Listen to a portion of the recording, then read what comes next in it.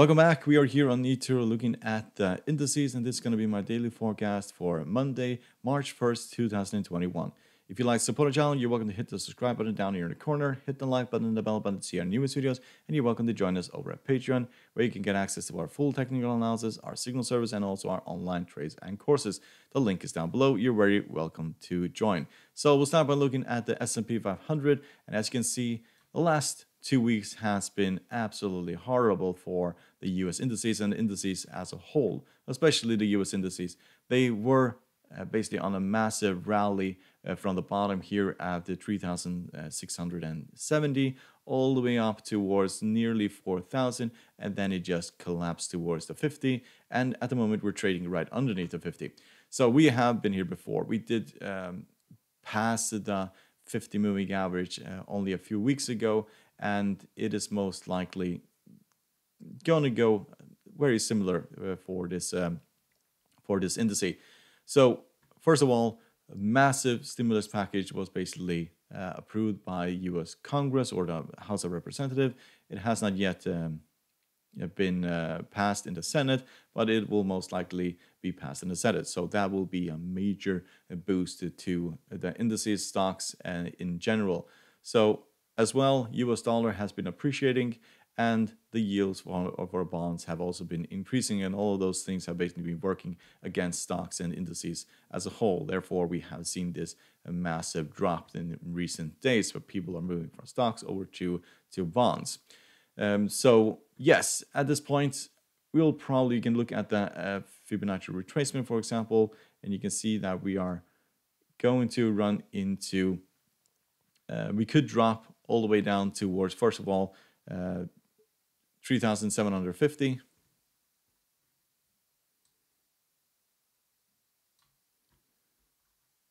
Yeah, I'll just go over down. Welcome back. We are here on eToro looking at the US indices, and this is going to be my daily forecast for Monday, March 1st, 2021. If you like to support our channel, you're welcome to hit the subscribe button down here in the corner, hit the like button, the bell button to see our news videos, and you're welcome to join us over Patreon, where you can get access to our full technical analysis, our signal service, and also our online trade and courses. The link is down below. You're very welcome to join. So we'll start by looking at the S&P 500, and uh, these uh, the indices in the United States, especially, have been absolutely hammered in recent days. Well, in the last two weeks, I should say. So we're trading at the, underneath the 50 moving average at this point, and one of the main reasons why this has fallen so significantly is because of the yields have been increasing and people have been turning from stocks over to bonds, and also the US dollar has also been appreciating. All of those things have been working against these indices and especially stocks. So it's very toxic for stocks. But if you look at a Fibonacci retracement for this index, we can see that we basically found support right here at the 61.8 Fibonacci retracement and pullback. It doesn't mean that we cannot go lower from here, but we did reach the bottom of this Fibonacci retracement and we could basically see this uh, turnaround. And the reason why I say that is because uh, the massive uh, Biden stimulus packages of 1.9 trillion dollars has been passed by the House of Representatives and uh, is going to go to the Senate, where it most likely also will be confirmed, and uh, therefore that will be a massive boost to uh, to um, to the U.S. economy and the stock market as a whole. However, technical indicators they are still not turning around; they are still all bearish and momentum is to the downside. So we could see this fall a little bit further, but uh, total breakdown from here, I would be fairly surprised as we have been in a uptrend and these pullbacks have occurred um, in recent days. People were basically just value hunting, selling and buying it back at a lower level. So let's look at the Dow Jones. So same goes for uh, for the Dow Jones. It reached all the way up to 32,000 and then broke down towards the 50 moving average. It found support here and uh, we could go a little bit lower. If you look at the Fibonacci retracement, we could go down towards uh, uh, 30,600. So a little bit underneath the 50 moving average. Moving average, we'll get to the uh, 61.8 Fibonacci retracement. Uh, we can also look at the weekly chart, and that could also give an indication that we could drop towards all the way down to the 20 exponential. That's around at 30,000. Very round number. So that is also previ- almost the previous highs before the pandemic. So if we were to break down significantly, we would find major support around this area here.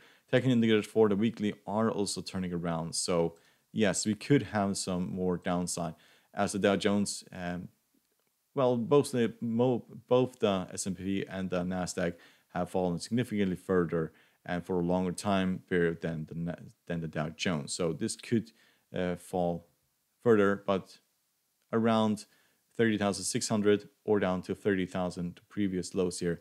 That is possible at this point. Technical indicators are very bearish. bearish. Momentum is to the downside.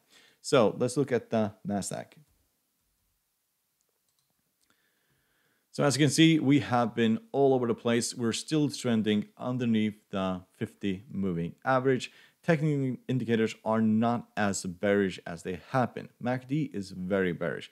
So this will not turn around all of a sudden. It will take probably a few trading days before this turns around if we have basically reached the bottom.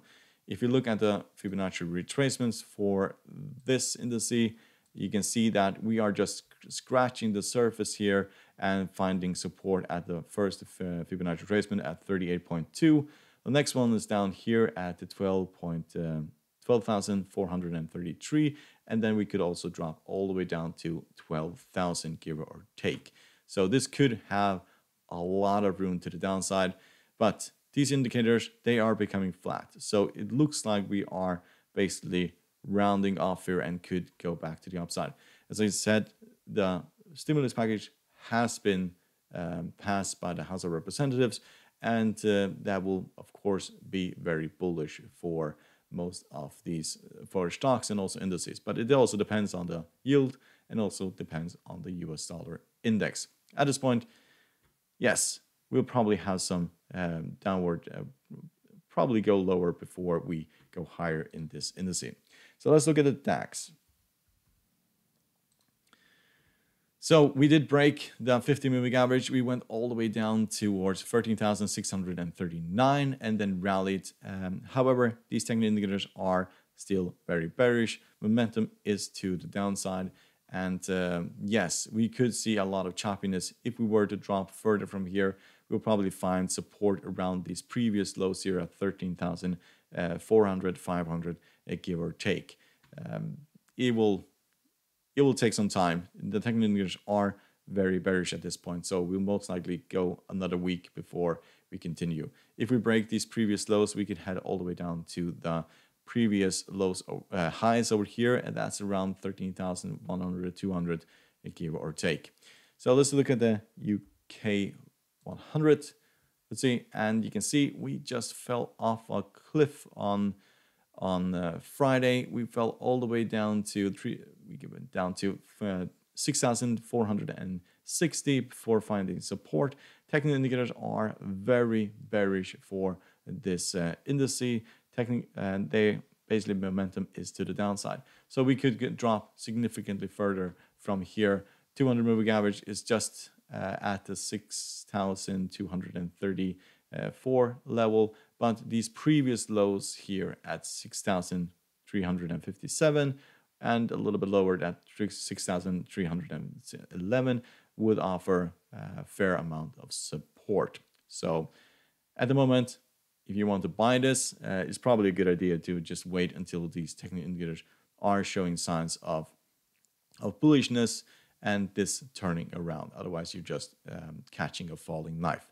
So, hope you find this, uh, this helpful. You're welcome to support the channel by subscribing, hit the like button, the bell button to see our newest videos, and you're welcome to join us over at Patreon. The link is down below. Good luck, and thank you very much.